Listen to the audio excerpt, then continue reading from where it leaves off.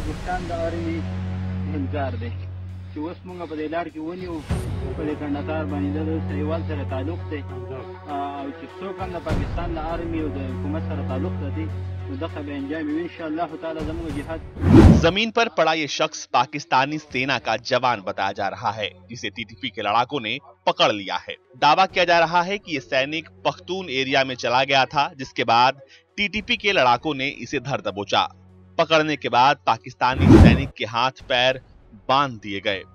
Video में पाकिस्तानी सैनिक के साथ दो लोग और आपको नज़र आ रहे होंगे। एक के हाथ में चाकू है, जबकि दूसरा पीछे खड़ा है। वीडियो को देखकर आप समझ गए होंगे कि पकड़ा गया शख्स पाकिस्तानी सेना का जवान है, जो कि बातचीत से पता चल रहा है और वो डरा हुआ है। बहरहाल ये वीडियो कब का है और इसके बाद क्या हुआ, इसकी कोई सटीक जानकारी तो नहीं है।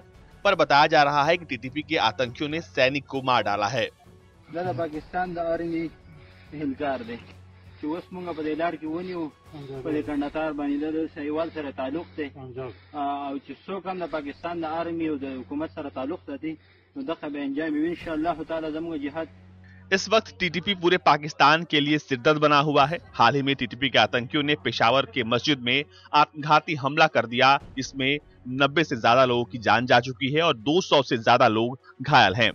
पाकिस्तानी सेना इस वक्त बीएलए और टीटीपी जैसे दो आतंकी संगठनों से लड़ रही है। टीटीपी का दावा है कि उसने 2022 में पाकिस्तानी सेना पर तीन सौ सड़सठ हमले किए, जिसमें 446 पाकिस्तानी सैनिक मारे गए। वहीं बीएलए का दावा है कि उसने सात सौ सड़सठ हमले किए, जिसमें जिसमें 804 पाकिस्तानी सैनिक मारे गए।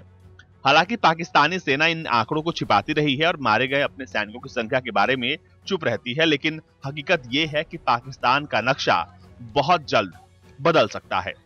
पाकिस्तान के दो राज्य, खैबर पख्तुनवा और बलूचिस्तान में उग्रवाद बढ़ रहा है। बलूचिस्तान अगर आज़ादी की मांग कर रहा है तो खैबर पख्तुनवा के पश्तून सिर्फ़ पाकिस्तान पर कब्जा करना चाहते हैं।